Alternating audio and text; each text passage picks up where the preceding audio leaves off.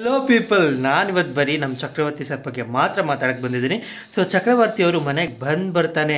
ಚಿಕ್ಕ ಮಕ್ಳಿಗೆ marks card ಕೊಟ್ಟಂಗೆ ಎಲ್ಲರಿಗೂ ಸೊನ್ನೆಯಿಂದ ಒಂದು, ಎರಡು, ಮೂರು, ಕೊನೆಗೆ ಆರು ಅನ್ನೋ ಮಾರ್ಕ್ಸ್ ಕೊಟ್ಟು ನೀವಿಷ್ಟೇ ನೀವೇನು ಮಾಡ್ತಾ ಇದ್ದೀರಾ ಇಲ್ಲಿ? ಏನು ಮಾಡಬೇಕು ಅಂತ ಬಂದಿದ್ದೀರಾ? ಅದನ್ನು ಮಾಡ್ತಾ ಇಲ್ಲ, ಬೇರೆದೆಲ್ಲ ಮಾಡ್ತಾ ಇದ್ದೀರಾ?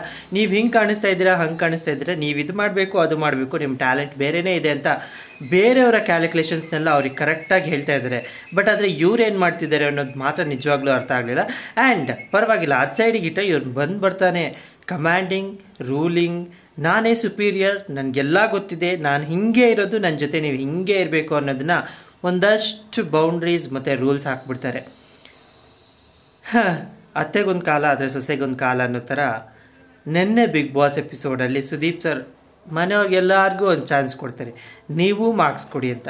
ಆವಾಗ ಗೊತ್ತಾಗುತ್ತೆ ನಾನು ಯಾವ ನನ್ನನ್ನು ಯಾವ ರೇಂಜಲ್ಲಿ ಇಟ್ಟಿದ್ದಾರೆ ಇವರೆಲ್ಲ ಆ್ಯಂಡ್ ಅವ್ರು ಮೊನ್ನೆ ಕೊಟ್ಟಂಥ ಮಾರ್ಕ್ಸ್ ಟೋಟಲ್ ಕೌಂಟ್ ಮಾಡಿದ್ರೆ ಎಷ್ಟಿರುತ್ತೋ ಅದಕ್ಕಿಂತ ಹೀನಾಮಾನ್ವಾಗಿ ಸೋತೋಗಿದ್ದಾರೆ.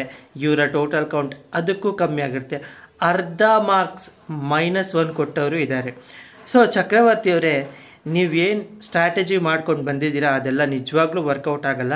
ಬಿಗ್ ಬಾಸ್ ಮನೆ ಒಳಗಡೆ ನೀವು ಹೊರಗಡೆ ಹಾಕೊಂಬಂದಿರೋ ಪ್ಲ್ಯಾನ್ಸ್ ಯಾವುದು ನಡೆಯಲ್ಲ.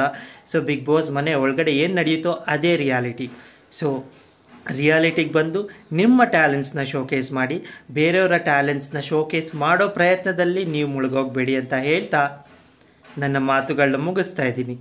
Take care bye